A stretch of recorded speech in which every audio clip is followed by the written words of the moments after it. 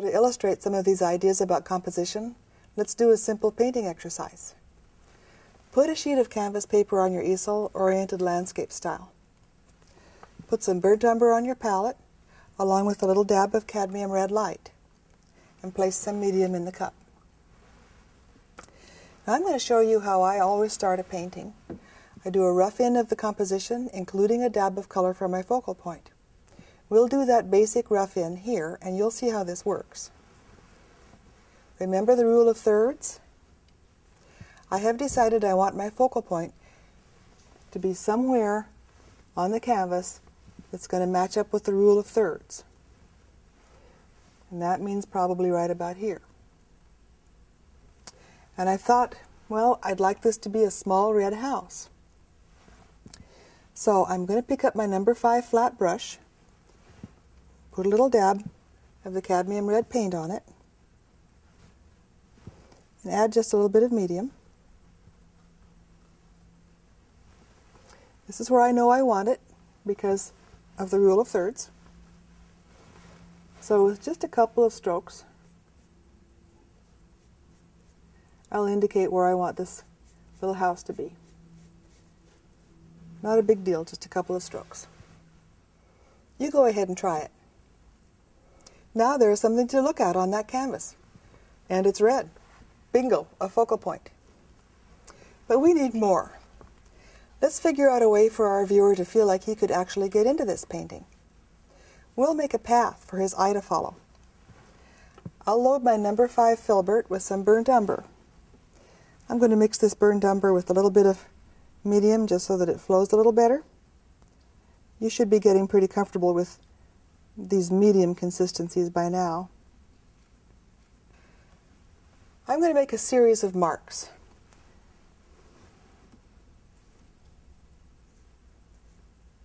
Just watch while I do this.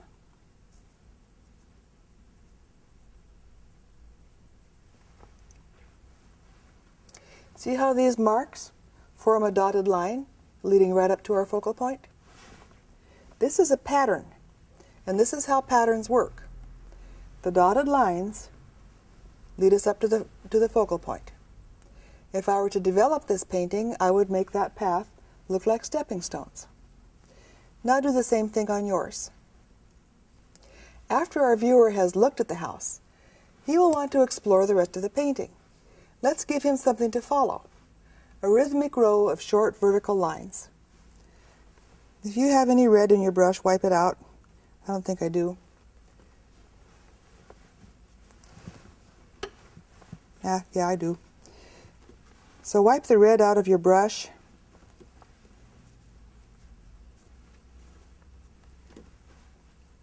and load it with some of this burnt umber paint that we have on the palette.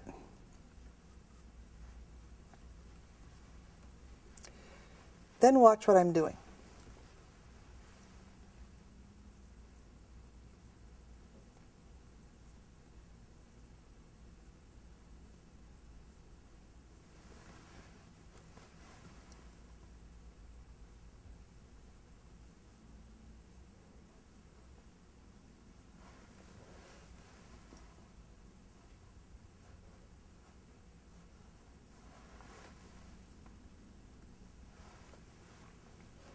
See this? Short, short, short, short, long, short, short, short, short, long, short, short, short, short, long, short, short, short, short, long. You hear that rhythm? We have a picket fence, leading the viewer's eye toward the left of the canvas. Now you do it on yours.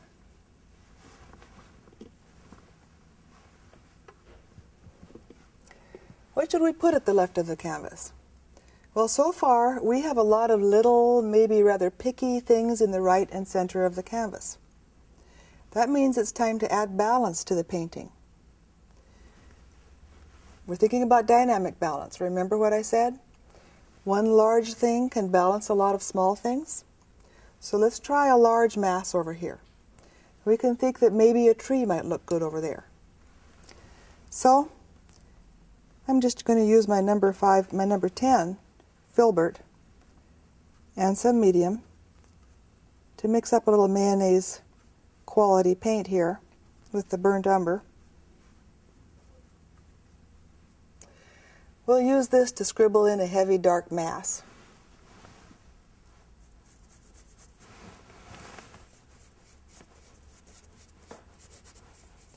I'm just scribbling in something here. You remember how we start with with trees or whatever mass.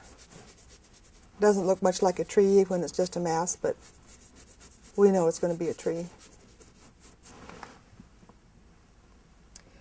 Okay, now we have a pattern leading in, boom, the focal point, rhythm, a mass to balance everything that's over here. So we're doing pretty well, but we need something to bring the viewer's eye back to the bottom of the canvas. The point is to lead the viewer back to the path so that she follows it back up to our focal point again. I think a tree trunk would do the job just fine. And the tree trunk qualifies as a line. It will point right down toward the bottom of the canvas. Just like that. Just to make doubly sure we don't lose our viewer, let's put a root pointing back to the path. And there, now you have a composition. You used color contrast for, color contrast for your focal point, pattern to lead the eye toward the focal point, rhythm to move the eye around the canvas, mass for balance, and line to get the eye started on its journey again. This composition is a simple circle.